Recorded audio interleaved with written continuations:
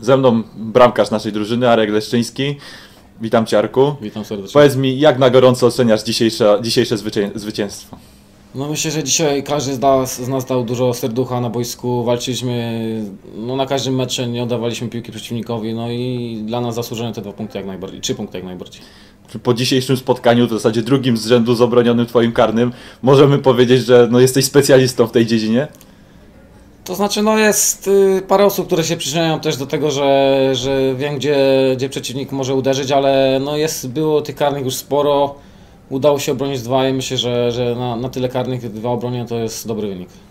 Myślę, że na fali tego dzisiejszego spotkania i poprzedniego e, pociągniecie to dalej. Następny mecz ze Śląskiem Wrocław, rezerwami Śląska. Jak tam nastroje już przed Na razie jeszcze nie skupiamy się na meczu ze Śląskiem. Na, wiadomo, chcemy się nacieszyć na razie wygranymi derbami i, i zobaczymy od jutra już w 100% przygotowanie będziemy do, do meczu ze Śląskiem. Dziękuję Ci bardzo. Dziękuję bardzo.